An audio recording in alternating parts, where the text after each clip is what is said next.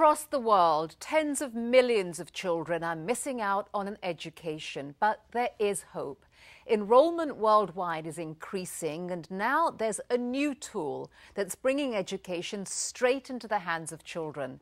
Our cameras take you to Ghana, where we explore how a simple technology is poised to revolutionize education.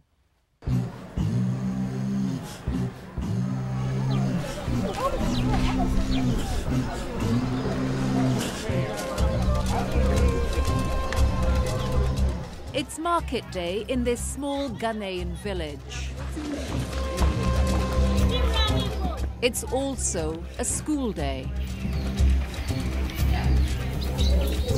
Living here is 14-year-old Gideon, a boy determined to do something exceptional with his life. And he believes education is the key to getting him there. But for him and so many others in Ghana, school is often a distant dream. Gideon begins his day caring for his seven brothers and sisters. And then it's off to work at the market, helping his parents who themselves have five jobs just to get by. At 14, Gideon has already worked more than half his life. I was six years old when I started working with my parents. Gideon rises three hours before the sun, cooking kenkey, a dish made from corn his family grows. It's both their daily meal and livelihood, selling it at a local market. I work seven hours in a day. Gideon spends much of his day at the family stand, often alone. He's just one of some 30 million children in sub Saharan Africa who miss all or some school, according to United Nations estimates. This despite the fact that school enrollment rates have increased nearly 20% in the region in the past decade.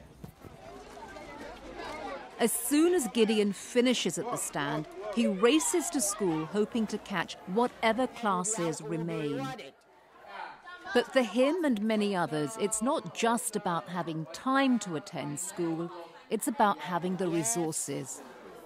Education here often comes at a cost.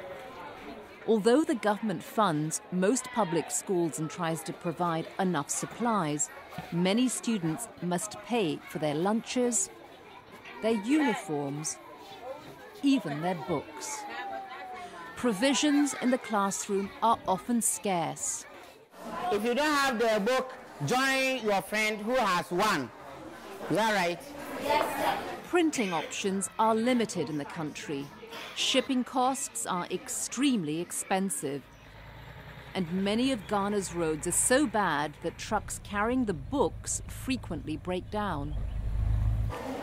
Two or three students often have to share one book. Most classrooms have only half the texts they need. There is a town library, but most days it's locked. The shelves are almost entirely bare, except for the occasional donated book, many of which are more than half a century old and often cover subjects irrelevant here, like the history of the United States written in Spanish. Despite all of this, Gideon says he won't stop dreaming of his future. Then I would like to be a teacher because it's someone who will help me. If I stop schooling, I don't know what will happen to my life.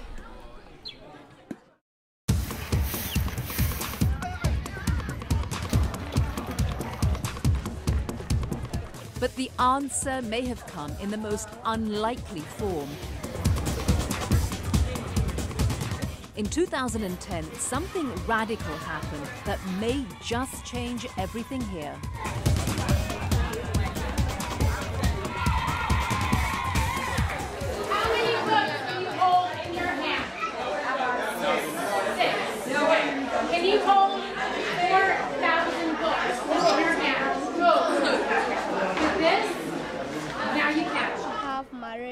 This is called an e or electronic reader, and many believe this modern technology has the potential to revolutionize education, not just here, but in other remote areas across the globe. Rumor, all of you. Rumor. Again. Rumor. Again. Rumor. There's a billion children in the world currently, in the developing world, that don't have an effective education system. Colin McElwee is co founder of Worldreader, a non profit that hopes to transform education with e readers and e books.